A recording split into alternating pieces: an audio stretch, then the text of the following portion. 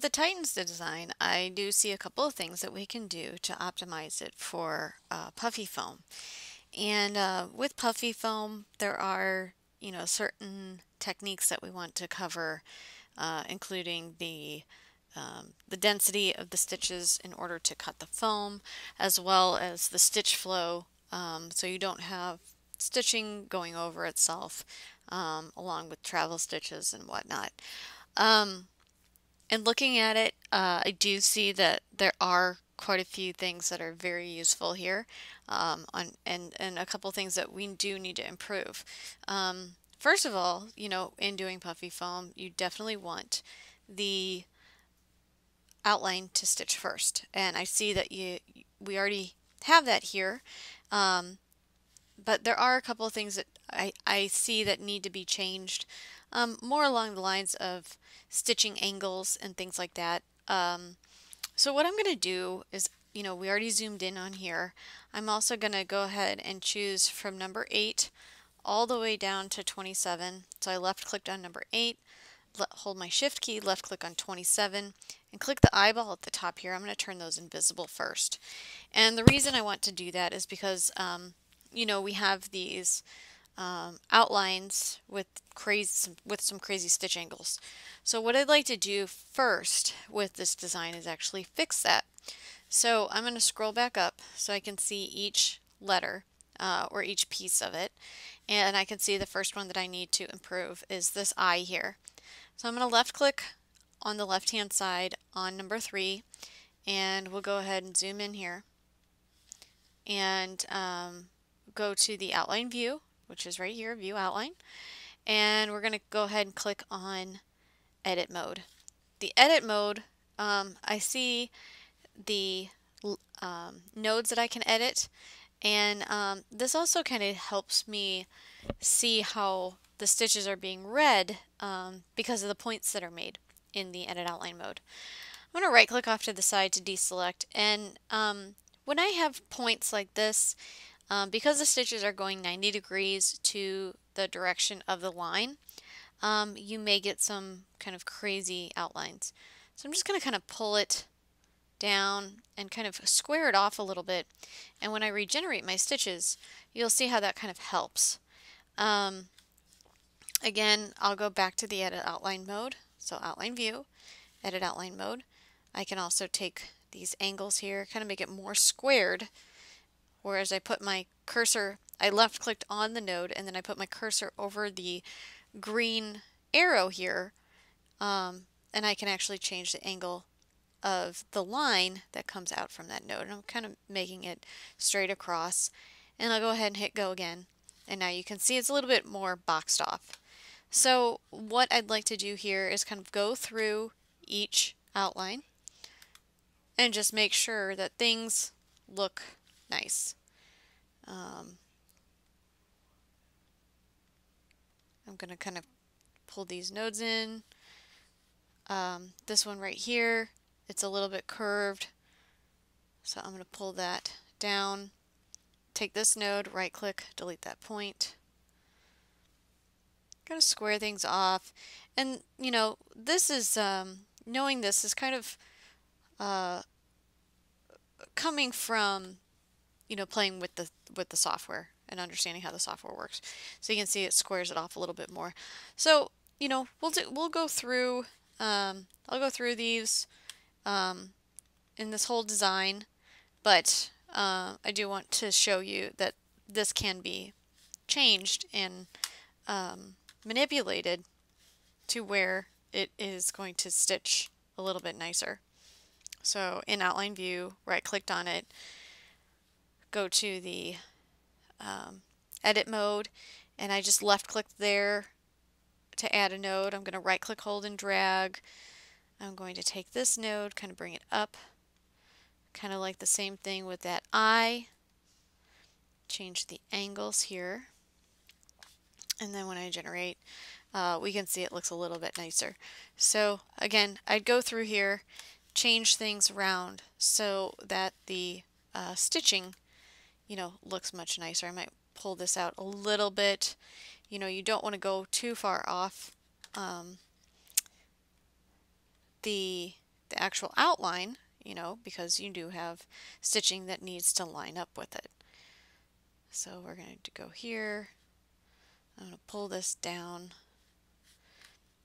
generate my stitches, and you can see I'm still having kind of a problem here. So again, I'm going to go back in and kind of play with play with that a little bit.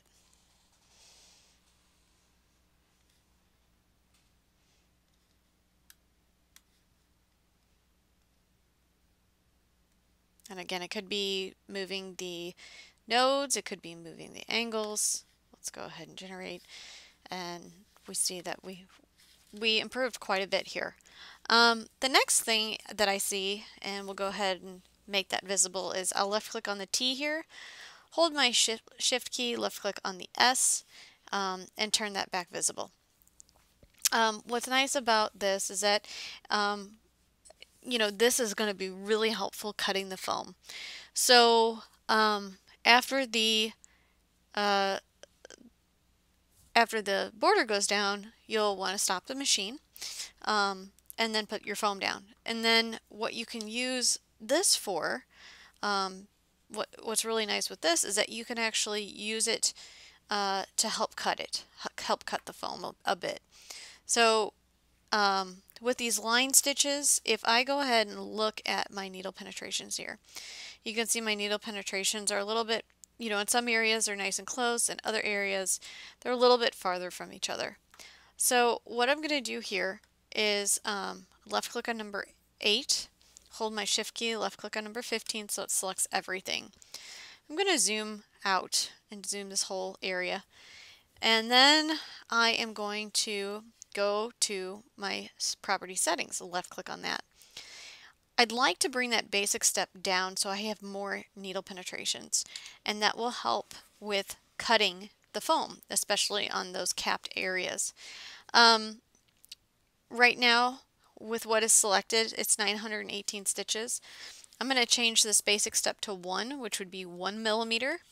And then I'm also going to go up to the line tab left click on that and change the maximum step to 1 so that I won't have any stitches larger than 1 millimeter. Let me go ahead and apply that. When I apply that, down at the bottom here you can see I've got about a thousand stitches more. So I got 1944. I'll go ahead and press OK and now you can see that my stitches are actually closer to one another and that'll help with cutting the foam in addition to the density settings uh, that are that we're going to change in the green areas. Now, as a side note, you have a color change and a stop. And that basically turns into two color changes um, because a stop in a DST is actually transferred to a color change. So let's go ahead and take that stop out of there. And we've got a color change because um, really you only need one color change for this to have the machine stop. I'm going to left click on 16, hold my shift key, go down to 19, and turn on my areas.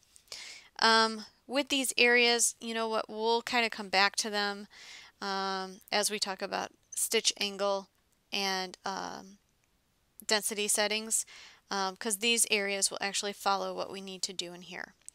So let's turn everything else visible. I'll left click on 20, left click on 27, deselect the eyeball, and now you can see um, the the uh, green. I'm actually going to turn everything else invisible. So I left clicked on that last orange, hold my shift key, left click on the uh, first one, and then turn that invisible. So really we're just looking at the um, the stitching of the Titans. So if we scroll down, um, what you did here was great in in uh, separating the T. We've got the um, bottom part of the T and then the cross. And what we want to do with that, first of all, is that with the with the area, you can see that it's got travel stitches, and it's because my in and out points are at similar spots.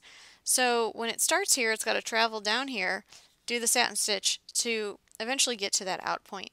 So what I'm going to do is I'm going to take the in point, left click, hold, and drag, move it down to the bottom, and have the out point move to the top here. and we'll go ahead and generate the stitches. When you do that, now you can see you've got no um, travel stitches and that's not going to go on the foam. So that won't mat it down. The second thing we want to do is make sure that we have at least double the density. Now, doubling the density actually means going down in number. Um, right here we have 0.81, which the normal density is 0.4. Um, but because density works a little bit opposite than what we think, um, the density is the spacing between the rows of stitching. So the higher the number, the more space, the lower the number, the less space.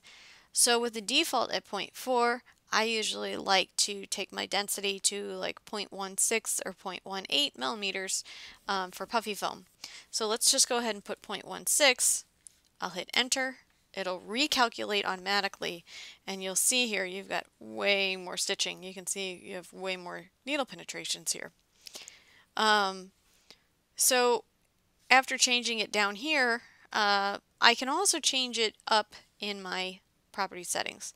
And what's kind of neat about this is that when I go to my property settings, um, I can check the other settings as well, but I can also save the settings to something that I want to use for puffy foam and then apply it to everything else rather than having to constantly go in and, and change things around. The only thing that we would need to do um, besides applying all these settings to each letter is also um, changing the in and out points if necessary. So what I'm going to do is first of all we have um, the tie stitch, which we want selected. I'm looking in the, the options underneath here.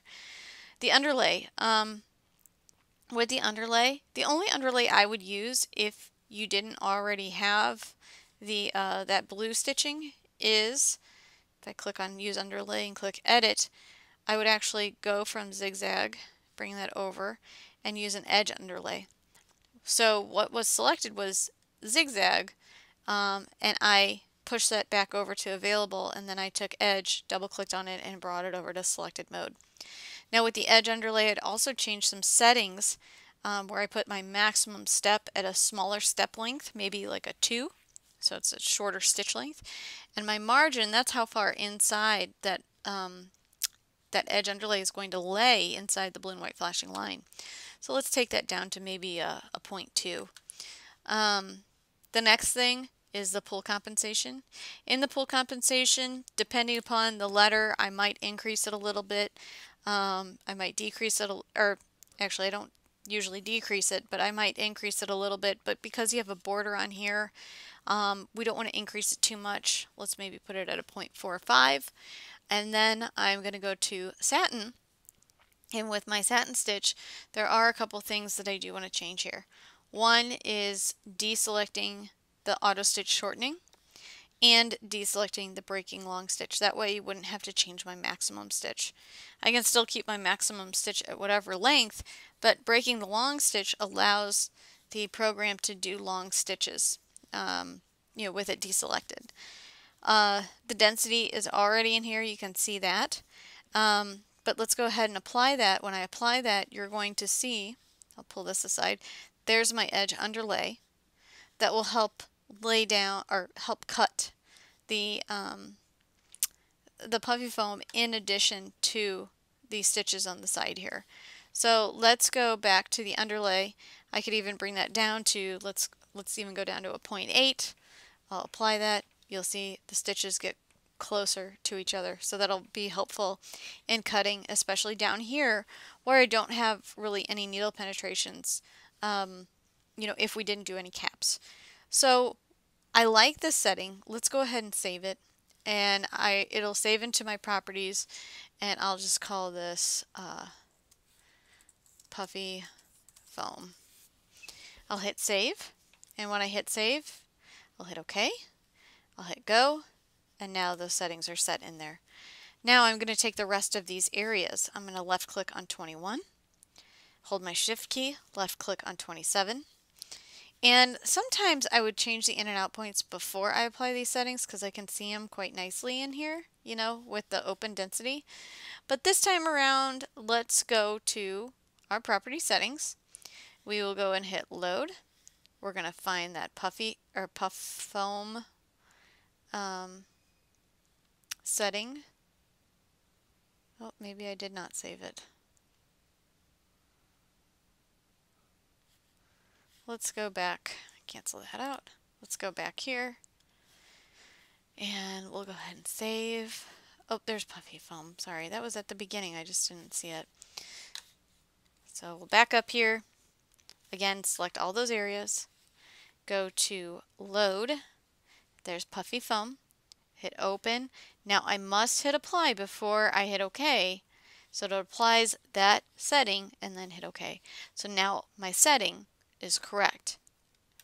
The other things that we need to check are going to be stitch angle and in and out points. So we're going to go to the top here. I see that I've got kind of a crazy stitch angle right here. Left click on that. Um, that is my stitch or my view angle. And I'm going to right click to deselect my zoom in tool. Right click here. And then I'm going to use the handlebars here to go ahead and move my angle the way I would want it to be. And imagine this as your satin stitch going that length. So you want your angles to go in the same direction as a satin stitch. I'll go ahead and hit go and you're going to see that improve. Now some cool things about what you, you know, without having to do caps with the puffy foam is that I can actually go into the view angle here and maybe do this more at an angle at the corner so I can get more of a, a better cut down here. Um, and then kind of oh it'll be at a little bit of an angle.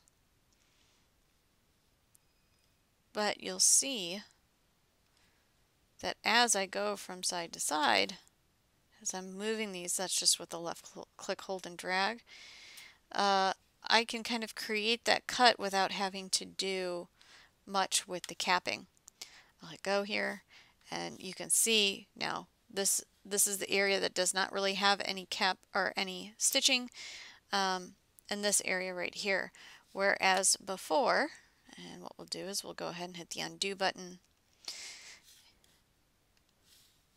we didn't have really any stitching here that would cut the the uh, the puffy foam but that's where your caps come into play so let's go back and go to the stitch angle We'll go in and change my angles. And I don't have to be so, so extreme, but, um, you know, as far as the transition goes, um, I don't have to be, you know, I don't have to have those stitches kind of laying on its side per se. Um, but I do want to get as close as I can to that corner um, and I'll show you the difference from one corner to another. You can see I'm really on that edge there right here on the corner, whereas I'm not over here. So let's go ahead and hit go. We'll kind of see the difference. You see I have closer stitches over here where I don't over here. Um, it actually put in an angle for me, but I'm going to get a, that angle with those two points closer to one another. And if you have to, go ahead and zoom in there. and you can see it gets a, better, a little bit better coverage. The other thing is that I want my in point to be on one end, my out point to be on another end. Let's go ahead and generate the stitches and that looks great. Um, right click off to the side. Also, um, you know, I have a trim between this section, the, the long section and the cross section. I do have a trim in there um, because I really don't want any traveling stitches. let's move on to the next area. We'll right click here, change my in point down here, my out point up here. Let's go ahead and generate those stitches. No travel stitches now. Then maybe we'll go to the view angle and we'll go ahead and check these angles here and see how that, you know, if we move them down closer to one another, the two endpoints there, um, kind of see how that works out.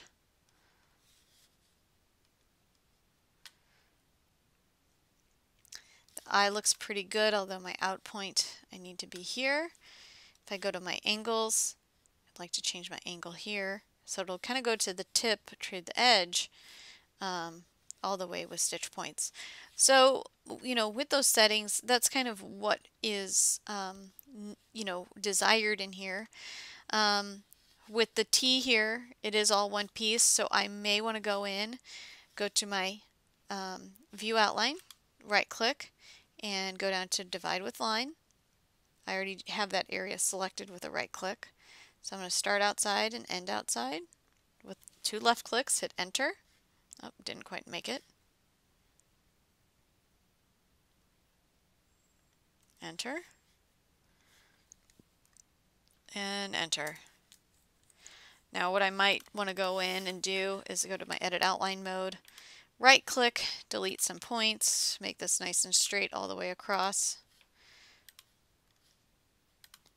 Right click on this area, I'm going to kind of pull it up over just a little bit in here and kind of clean up these points here. Right click delete, right click delete, right click hold and drag on a red line and it will actually allow you to do a curve or an arc in a sense or smooth. Right click hold and drag.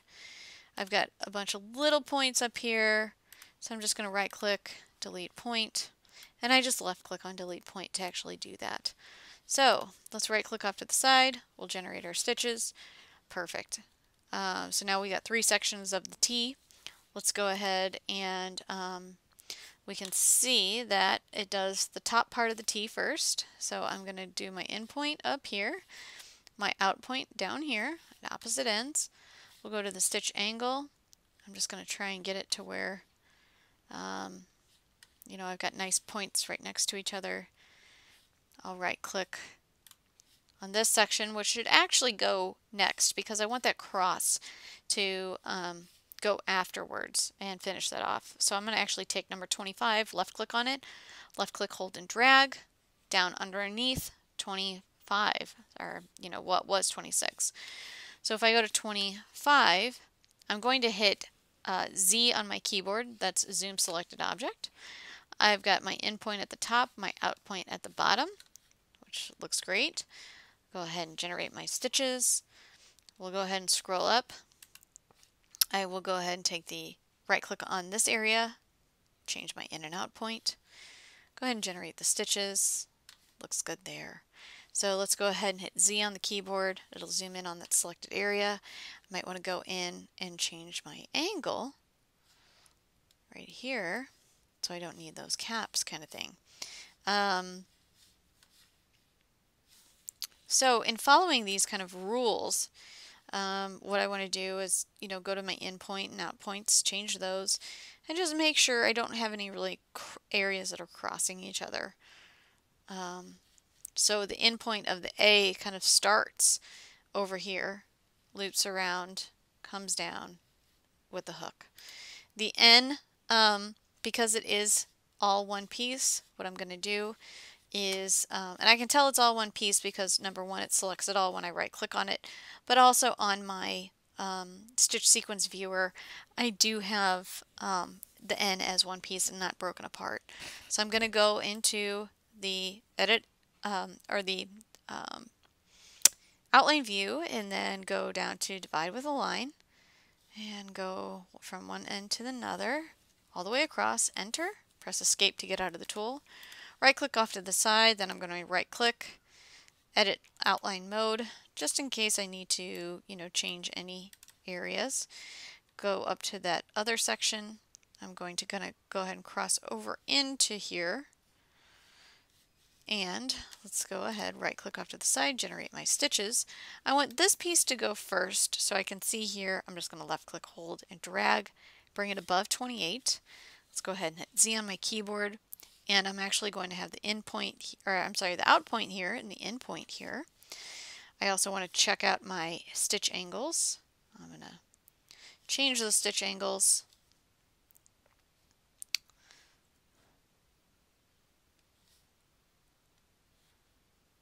And if I'd like to add one, I can right click inside that area, add the stitch direction guideline.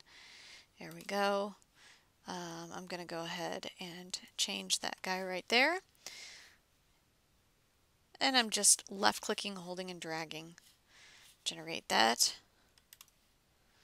Then I will go here. I also want to make sure that there's trims in between. Um, so I just input those trims. I will go down to the bottom here, make my in point, change my out point, go ahead and hit go. And you can see those changes.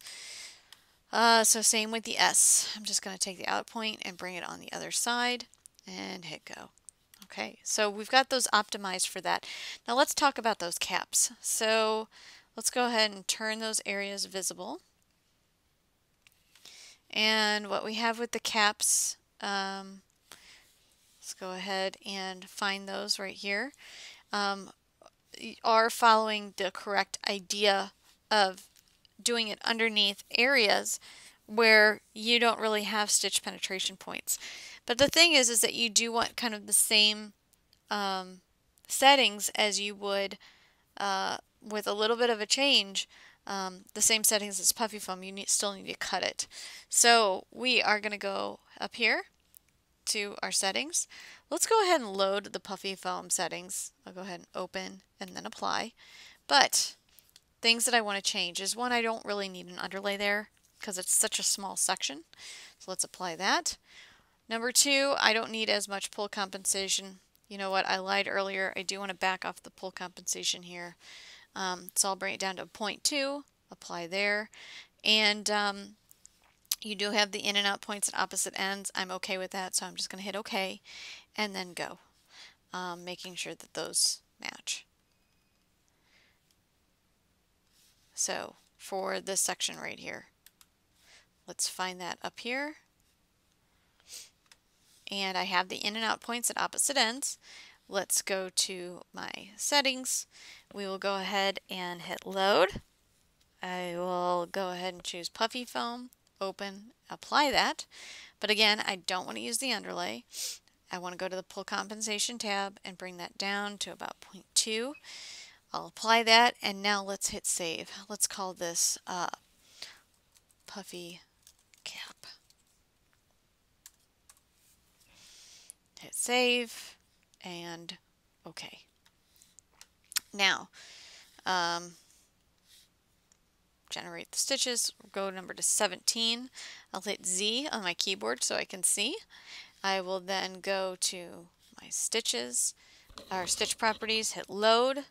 We'll go to puffy cap, hit open, apply it first. You can see that change, and OK. So um, now the other thing is that I do want these areas uh, to fall inside of my object. I don't want it to fall outside um, because uh, for fear of, you know, the, the stitching sticking out. So, you know, that's kind of a, a thing as well. So let's go here, hit go, and, and now it's on the inside, you know, because you want your other stitches to cover it. So in following that, you know, the areas that do need the caps are like right here on the end of the S. You can see there's that, that one right there that you do have. Um, let's go ahead and hit Z to zoom in on it. Only thing with this is that I do have some different angles here. So let's straighten these out. Let's go ahead and generate. And also I need to go to the outline, edit outline mode, and pull that inside of my design.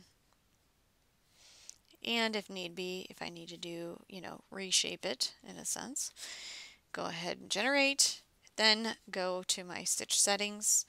I'll hit load. There's that setting, open, apply, and OK and generate my stitches. So now I've got that ca nice cap there. But I would make sure, you know, I can see that the stitching doesn't have the, the capped area or the extra stitches here that it needs for the app, or I'm sorry, the uh, puffy foam. So I'm going to go in here. I'm going to go back to the edit outline mode. Select that area. Let's go a little bit closer to the edge here. And while changing this, keep in mind that you may also need to change the angles. So we're going to go here. I'll go to my angle view. Uh, first of all, let's go ahead and generate our stitches. Let's go back to the angle view. Pull those stitches down.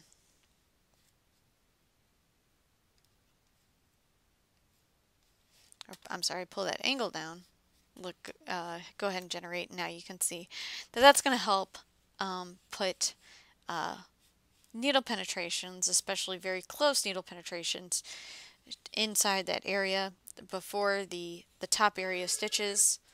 Let's go ahead and uh, turn everything invisible. An easy way I can do that is I left click on this um, arrow to the right, select all invisible. Let's go ahead and turn it invisible. And you can see that um, if we go to the 3D view, things have changed quite a bit. Um, one other thing about this is that I may, or you may want to um, increase the pull compensation on your outlines. So it does stick a little bit further outside. Sometimes we really want to exaggerate that. So let's go here and change that to 0.6. We'll go ahead and hit apply. And it makes it a little bit thicker, maybe even 0.75. Apply that and it goes, we'll hit OK, and it goes a little bit thicker. Um, so let's go ahead and zoom out. Now we may also want to move things around. Um, notice that when I did move it, it did not move the caps, so you'll have to move those as well. Um, so those are kind of the, the things that I would change in here for sure.